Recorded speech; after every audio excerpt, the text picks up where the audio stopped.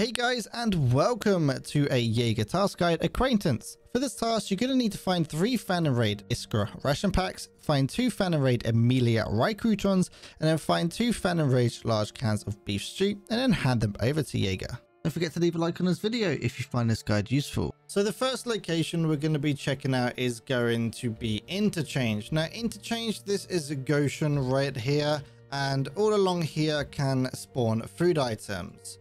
Just up over there is um, food items as well, but realistically, the best spot inside this area is if you head to the left-hand side as you come in from the main entrance and just basically head towards the back walls.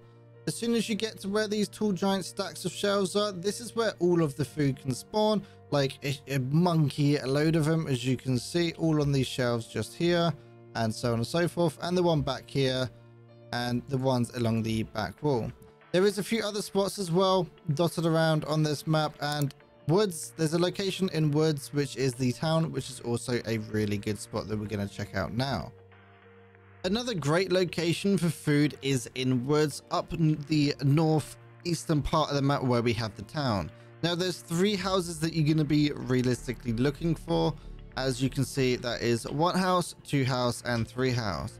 Basically they're all really good for food. Just walk in there, find the kitchen. As you can see, you got some oat flakes and drinks and like stuff on the tables. And eh, each of these houses are really, really good for food.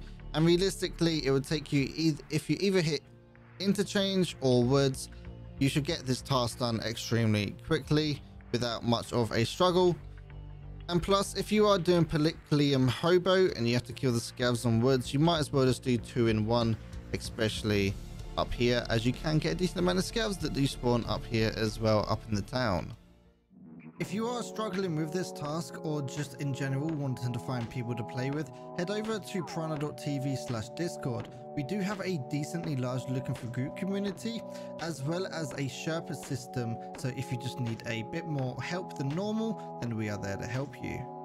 Hopefully you guys found this guide useful. If you did, don't forget to leave a like and subscribe or possibly consider joining the channel membership where you can unlock early videos as well as a few custom rewards. Don't forget to check out Piranha.tv as well. That's a one-stop shop for all of your guides, tasks, keys, all those kind of things in one location.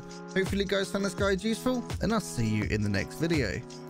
And a big thank you to all of my Patreons supporting me over on patreon.com slash TV. And a huge thank you to J Dam, Freddy and Beansy. Without this kind of support, I wouldn't be able to do what I do.